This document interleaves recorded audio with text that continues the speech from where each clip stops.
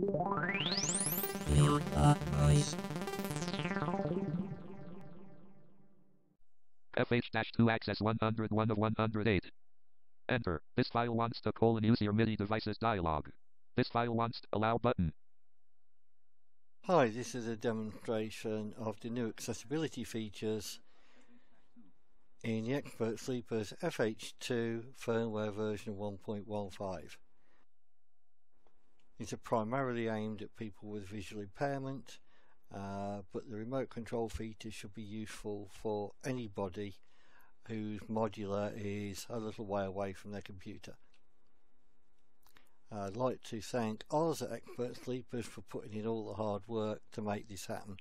Uh, it's a really cool feature and incredibly useful, so let's get down to it. FH-2 access. Okay, you probably saw right at the start that I had to tell Chrome uh, to allow access to me and my MIDI devices. Uh, the system is in two parts. There's the 1.15 firmware that you'll need to load onto the module and there's this HTML page that you can get from the Expert Sleeper tools repository which I'll link to in the note below. Once you've got them installed FH-2 act. Display heading level. you get this CLK colon none. which is a representation of the display on the hardware uh, but it's on your computer screen. In fact, uh, this will run quite happily on Chrome or Opera, on Windows, Mac, or Android. Unfortunately, it won't run on iOS because Apple haven't updated their WebKit framework to support WebMIDI. What happens is that the module and the page ex- exchange system exclusive messages that contain uh, parameter and text data Heading level 1 display. so we can do CLK colon none. this virtual representation. So you can see line 1 uh, tells me what kind of clock I've got, which at the moment is none. 257.0 BPM. Line 2 is my tempo. C. Line 3 at the moment is just telling me which uh, MIDI I.O. is active. Uh, so that's C, which is my USB-C port. Die DCH4 off 6164. And the fourth line normally gives me me- uh, information about the last kind of message received.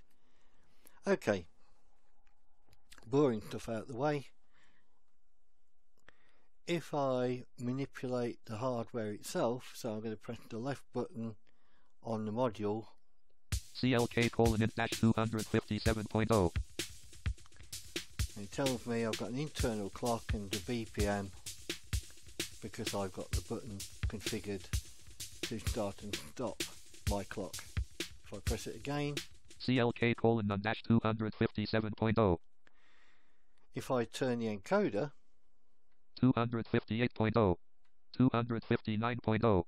I can adjust my BPM. So, so far so good. If I press the encoder, it takes me into the menu system. Presets. Edit preset. And each press takes me down a level and I can turn the encoder to navigate the menu. Load preset. Save preset. Load preset. Edit preset. Direct. LFOs. Let's have a look at an LFO. LFO output 1 speed colon 9. LFO output colon 1. LFO output 1 colon speed. Okay, let's change the speed of this LFO. LFO output 1 speed colon 9. LFO output 1 speed colon 10. LFO output 1 speed So all I'm 11. doing is clicking into the option I want by pushing the big encoder and then rotating it to adjust the value. Uh, one small problem, if I rotate it quickly, LFO output 1 speed colon 13. LFO output 1 speed colon 16. LFO output 1 speed colon 37. the speech doesn't get interrupted uh, as often as we'd like. Um, this is just a problem with the screen reader support for the technique that we're using. Okay, if I press the left button, it will take me out through the menu one level at a time, LFOs. Edit preset. and if I hold the left button down it will take me all the way out Presets. Overview dash CLK colon none dash 259.0. to the overview screen which is the main display. Uh, by the way, uh, this uh, these accessibility messages are not on by default. They can be turned on in the menu system, or the easiest way of doing it is to hold the left button of the module down during power on. That will turn accessibility on, and that setting will be preserved until you do the same thing again. So if you want to get rid of the accessibility, uh, turn off, hold the left button down, turn on again, and it, it'll flip the setting. Okay. General feature that's useful for anybody, I talked about it earlier, Remote control heading level 1. remote control. So we have a series of buttons Encoder push button.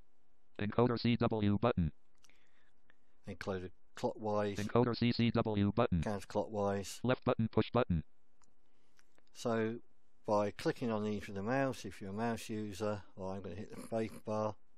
Space FH dash 2 access. Left button push button. CLK colon int. CLK colon int space. CLK colon none. CLK colon none dash 2. uh, We're controlling the unit as if we were actually using uh, the front panel controls.